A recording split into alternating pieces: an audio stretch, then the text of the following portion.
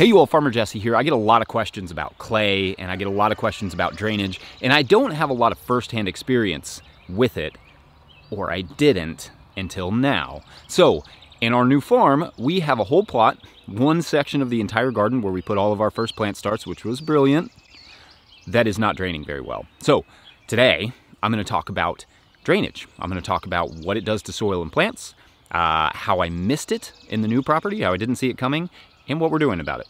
So let's do it.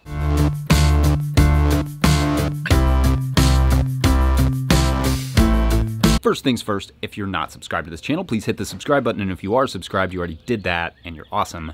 Here's the thing. Uh, plants have this magical ability. It's not magic, but it feels kind of like magic of converting carbon dioxide, water, and sunlight into glucose, which is the basically the building blocks of all life. Uh, that feeds the soil life. It gathers nutrients for the plants. It creates leaves for the plants.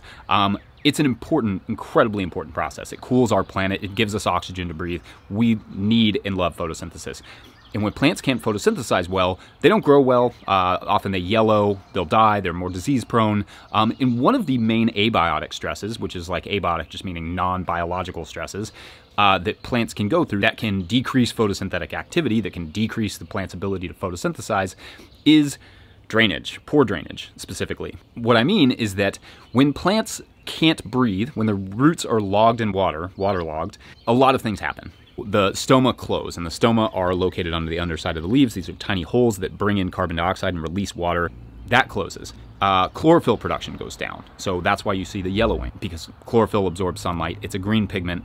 If it starts to yellow, it means the plant's not absorbing as many photons, which means that it's not photosynthesizing as well. This creates an environment uh, for a great environment for anaerobes. We need anaerobes in the soil to some extent, but we don't want a proliferation of anaerobes. Uh, that's bad for plant roots on many levels. So over time, the plant will you know, cease photosynthesis. It will stop photosynthesizing you know, and eventually won't produce or it won't produce as well, or it may just die, um, which is none of those are good things if you're trying to, you know, run a profitable vegetable farm. So farmers like to avoid poor drainage or poorly drained soils. Um, and I did that, for so I thought. So here's how I missed it. We saw this farm in September or August, so we saw it late in the season. It was kind of dry, so we didn't, you know, I, I don't take that for granted. I checked the compaction. The compaction seemed, it was there. This was like a grazed uh, by alpacas and horses for several years, so there was definitely some compaction around. Um, generally, the grass is good. There wasn't a ton of compaction. There were some sort of wet areas, but they looked nice and healthy. Um, so I wasn't too concerned with drainage from the outset. Uh, I also looked at the web soil survey that the NRCS does, um, and I looked at the map. I looked at the soil type. Soil type was good. Uh, lots of silty loam, uh, and it was well drained. We're also farming on a bit of a hillside. Hillsides tend to drain better than flat areas, so that's another reason we didn't really see it coming. Here's what I didn't know, that probably sometime in the past, there was a massive drainage tile put into this farm, maybe more than one, that drains right into this first plot in my garden. Um, when I started to notice the plants slowing down, like this lettuce was planted four weeks before this lettuce, when I started to see that and started to see some of the discoloration and started to see the low performance in the plants, uh, I started to wonder had I goofed. And I want to be clear, I broad forked before I put the compost down. I did all of my general prep for a mildly compacted soil. I, I literally mentioned compaction 80 times in my book, The Living Soil Handbook. Like it's something I focus a lot on. So I wasn't prepared to have a drainage tile draining right into the soil. Those are the kind of things that you don't know until you're actually on the farm what's happening. So we diverted some of that drainage tile, at least what we could find. That will help over time, but here's I want to get into what else we're doing because I don't want to add a bunch of drainage tile. If I absolutely have to, I will, but I just don't love the idea of burying plastic. I'd like to do it. Um, I'd like to do it a little bit more passively at first and see how far I can get with that. So what do you do? What are we doing? Um, we're doing a number of things.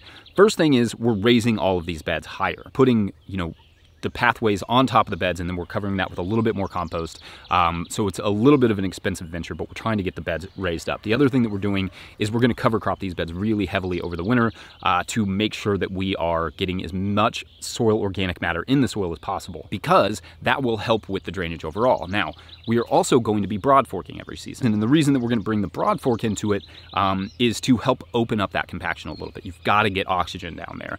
And you do that while you're right before or during growing crops. Like I like to broad fork when a uh, cover crop is kind of young to sort of open it up and let those plant roots get even deeper, start building that soil organic matter as deep as possible to help with the drainage.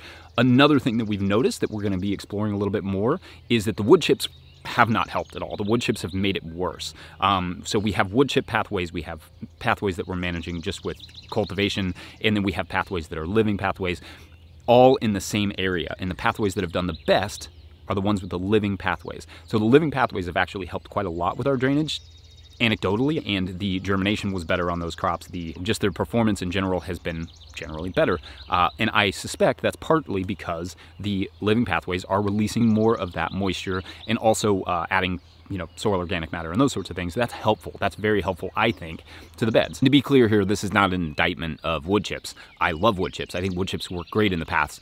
In this situation, I think that I have to get the drainage under control before utilizing wood chips because they're going to trap a lot more moisture than they release. Um, but over time, they will add soil organic matter and those sorts of things. So there will be, there would be some benefit in the future, but I think getting that drainage under control first is essential. Another thing that we're doing, if you watch that video on the Essential Garden Amendment um, that I posted a few weeks ago, I'll put the link right there. The uh, We're also doing that. We're also putting in crops and we're inoculating the soil quite, quite a lot with uh, good beneficial microbes with the compost tea extract. So, and then we're also spraying the uh, plants as much as we can with uh, nutrient applications to because when you have poor drainage, your plants don't have access to the nutrients they need, but they can get some of that, at least the macro, the micronutrients, uh, through uh, foliar sprays. So we're also doing that kind of in a recap here, we're raising our we're raising our beds. We're trying to build soil organic matter. We're broad forking to open them up a little bit as we go. Uh, hopefully that will make itself obsolete. We may not need to use the broad fork for many years. That's kind of the genius of that tool. It, if you use it right, you no longer need it eventually. Um, so and then we're just going to constantly crop these as much as possible um, just to make sure that there's something always growing. And then, like I said, we may be increasing our, getting rid of the wood chip pathways in this plot uh, and increasing our living pathways. Um, we're doing more of that. I'm not a huge advocate for them yet. I don't know. I've been doing living pathways for a couple years in different spots.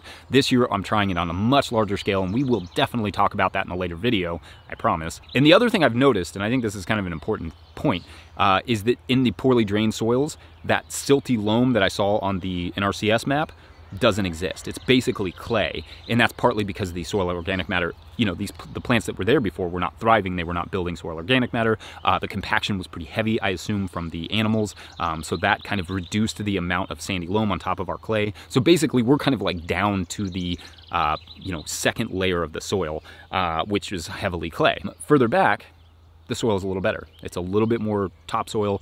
Uh, the clay is a little bit deeper. But here in this area where there's heavy, heavy waterlogging, it is really rough soil. So stay tuned. I'll keep you all updated on that.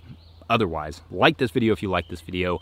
Make sure to check out my book, The Living Soil Handbook. Uh, it is on pre-order now at no-tillgrowers.com. I appreciate when you buy that because of the money from watching these videos and from buying the book goes into making more content like this. So if you like this content, like it, but also, you know, go buy a book or become a Patreon member at patreon.com slash no-tillgrowers. All right, I'm done pitching. I gotta get to work. Thanks for watching. We'll see you later. Bye. And wish me luck.